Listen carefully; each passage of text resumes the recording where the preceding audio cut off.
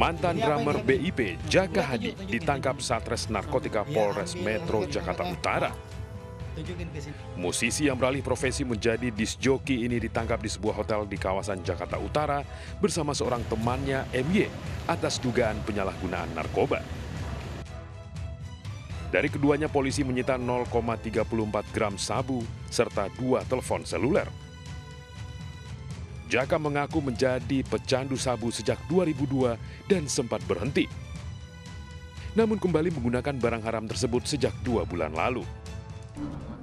Untuk masyarakat, uh, saya sebagai musisi mau menyampaikan maaf sebesar-besarnya dan saya tidak akan menggunakan lagi apalagi eh, teman-teman juga yang masih menggunakan tolonglah berhenti ini tidak baik dan untuk kesehatan juga tidak baik.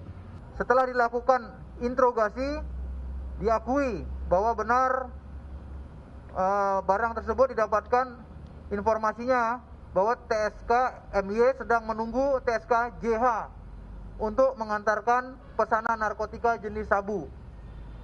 Lalu dilakukan penggeledahan dan penangkapan terhadap kedua TSK dan ditemukan barang bukti jenis sabunya. Akibat perbuatannya, Jaka Hadi dan MY dikenakan beberapa pasal tentang narkotika dengan hukuman maksimal 20 tahun penjara dan denda 10 miliar rupiah.